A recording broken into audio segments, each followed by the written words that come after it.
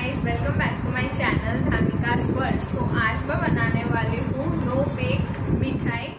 Let's get started start करने से पहले मैं बोलना चाहूँगी, नीचे दिए गए रेड बटन को प्रेस कीजिए और मेरे चैनल को सब्सक्राइब करिए और बाजू में बेल आइकन भी है, उसे भी प्रेस करिए ताकि आपको मेरे वीडियोस की लेटेस्ट नोटिफिकेशन आती रहे। सो चलते हैं आप वीडियो की तरफ़। सो मैंने यहाँ टोटल फिफ्टीन ओरियो बिस्किट्स लिए हैं। अब हमें इसे ग्राइंड कर लेना है। इसे थोड़ा सा टुकड़ा टुकड़ा करके ऐड करेंगे। आप चाहे तो कोई भी बिस्किट ले सकते हो। बॉन बॉन हाइड एंड सीक या फिर जो क्रीम वाले नहीं होते वो भी। सो मैंने इसे पीस लिया है। ये देखिए। सो मैंने यहाँ थोड़े से ड्राई फ्रूट्स लिए हैं। सो मैं अब ये भी ऐड करूँगी। One tablespoon desiccated coconut अगर आपको इसका टेस्ट अच्छा लगता हो तो आप ऐड कर सकते हो, वरना इसके बदले आप इलायची पाउडर भी ऐड कर सकते हो या इसे स्किप भी कर सकते हो। सो अब मैं इसमें मिल्क पाउडर ऐड कर रही हूँ। ये फुल्ली ऑप्शनल है। One and half tablespoon मैंने ऐड किया है मिल्क पाउडर सो इससे पहले एक बार मिक्स कर लेंगे।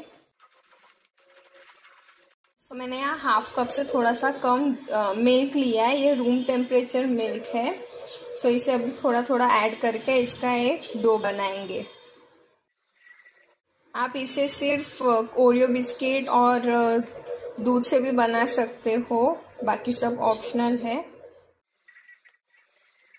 और इसमें आप शक्कर ऐड करने की भी ज़रूरत नहीं है बिकॉज़ बिस्किट तो वैसे भी मीठा होता ही है और मिल्क पाउडर भी ऐड किया है, सो वो भी मीठा ही है। सो मैंने ये डो बना लिया है। और इसका टेक्सचर देखो कितना शाइनी लग रहा है जबकि हमने कुछ भी ऐड नहीं किए है तेल या फिर घी कुछ भी नहीं। सो so, ये मैंने हाफ़ कप से इतना दूध बच गया है सो वन थर्ड कप दूध ही यूज़ हुआ है। सो so, मैं इसे पहले एक बार रोल कर रही हूँ। आपको जो शेप में चाहिए आप वो शेप में इसे बना सकते हो। सब मैं इसको रोल करूँगी। इसे एक बार ऐसे ही दबाते जाना है ताकि वो अच्छे से प्रॉपरली सेट हो जाए।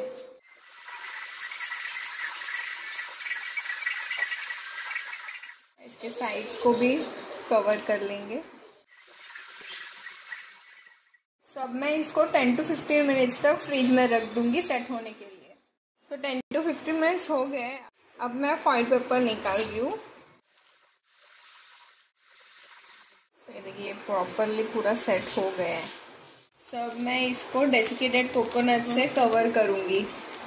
आप चाहे तो फिर सिल्वर वर्क आता है, वो भी लगा सकते हो, या फिर ड्राई फ्रूट्स को ग्राइंड करके वो भी कर सकते हो।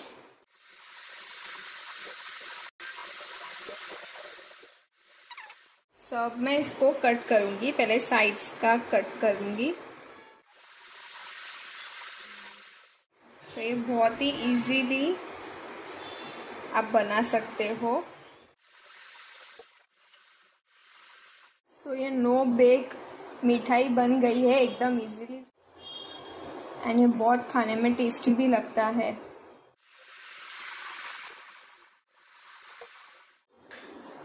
सो so, ये देखिए।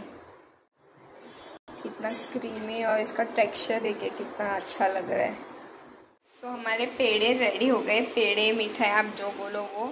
वो भी सिर्फ़ पाँच मिनट में। सो so, ये नो बेक पेड़ा आप ज़रूर एक बार ट्राई कीजिएगा।